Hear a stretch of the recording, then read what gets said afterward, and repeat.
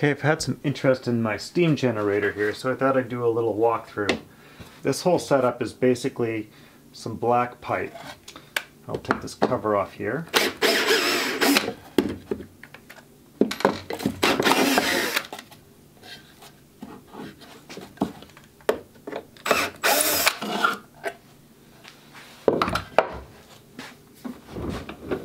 Alright, so we've got a T, we've got a section here that's about 12 inches long with a bell housing on the end and a, uh, a nipple to take a piece of pipe on the end and this is like radiator hose type pipe. And then we've got approximately a uh, you know a six inch section down here and another bell housing that um, takes a turn. I guess it's called a street fitting but I'm not 100% sure on that because I'm not. A, the only reason for this configuration is just to, make it turn 90 degrees.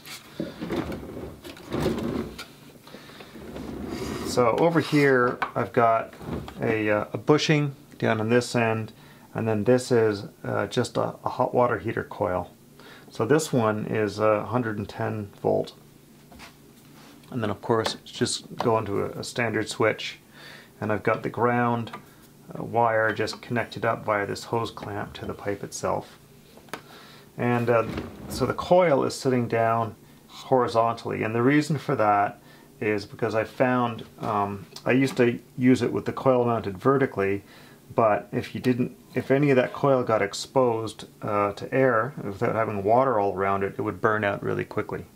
And so this was a simple way to sort of make sure it stays immersed I also found when it was running up, when you had it going this way, you had to have a good amount of pipe here to keep water from boiling out the top. And if you if you have too much water in your reservoir, it'll still tend to boil out to a certain degree.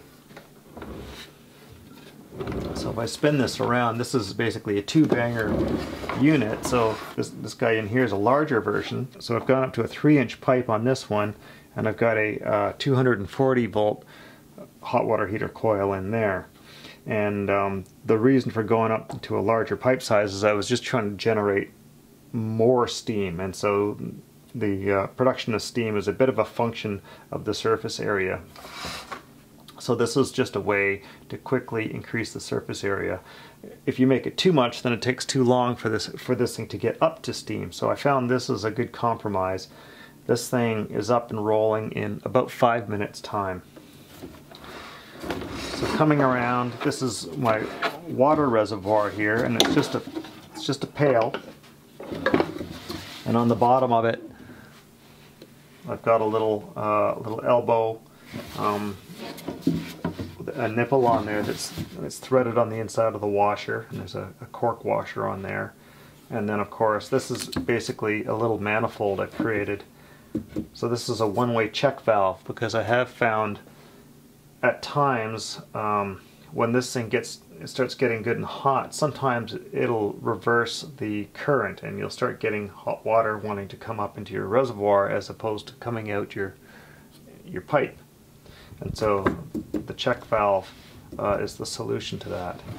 And then these things just to keep everything flexible are just connected with little pieces of the same sort of radiator pipe so this is really the same thing over here that we have on the other side. You'll see here I had to go down uh, to three different bushings until I got to one that was sized to fit this, um, this coil.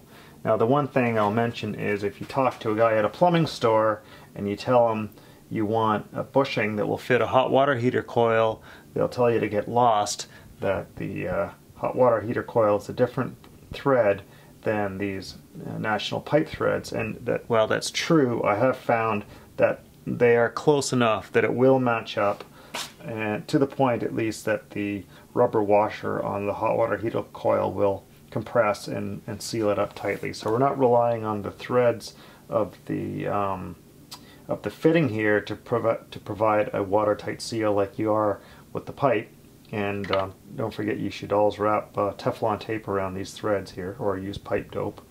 Uh, we're relying on the, on the rubber washer to do that job.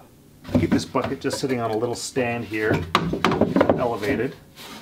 And the goal is to try and maintain water level above here, of course.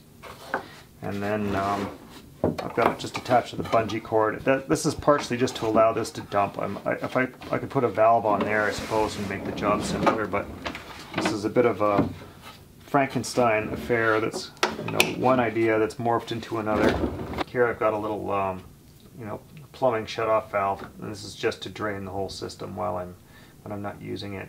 If you, if you leave water in this, you get a lot of iron oxide building up in the water, and depending on what kind of wood you're working with, that can actually stain the wood. So you do need to be careful to put fresh uh, water in there and try and I actually will tip this on its side and try and blow out all the junk. So up here I have roughly a one inch hose and I find I've got these PVC pipe fittings here um, that I just slip on over top and these are really nice for connecting up to your steam box because you can just you know blast like an inch and a half hole in your steam box and then these articulate to sort of plug it in there and whatever configuration you need it to and I can always add another section of pipe onto this without farting around with hose clamps and things.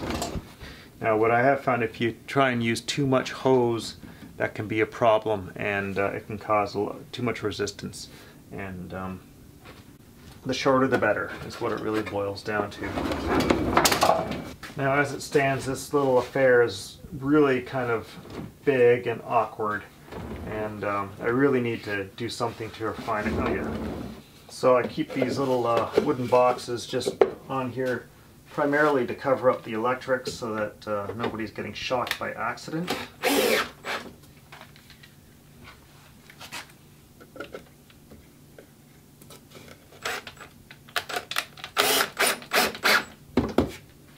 Just got this little guy for winding up my cables onto and I also keep a set of barbecue tongs on there for fishing hot stuff out of the box.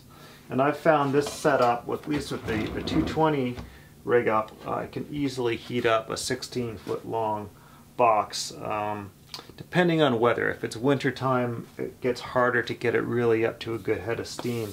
So you, you really want to reduce, the bigger the box you have, the longer the box you have, the, the more you want to try and reduce its interior dimensions down to sort of the bare minimum.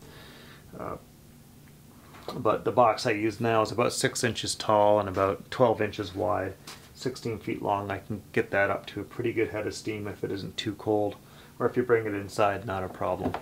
Um, and of course, smaller than smaller boxes are easy enough. One, if I'm really kind of hurting for juice, what I'll do is I'll actually fire up both units, and I'll get um, I'll get both boilers going, and that just gives me that much more steam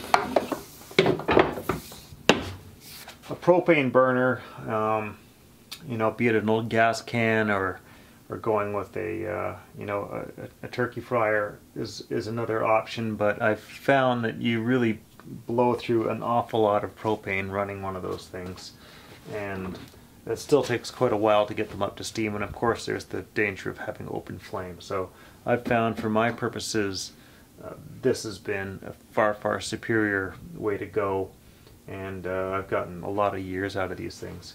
It probably runs you, if you're buying your plumbing parts retail, you're probably going to spend about a hundred bucks once you factor in the coil uh, to put a, to put one of these together, at least one side.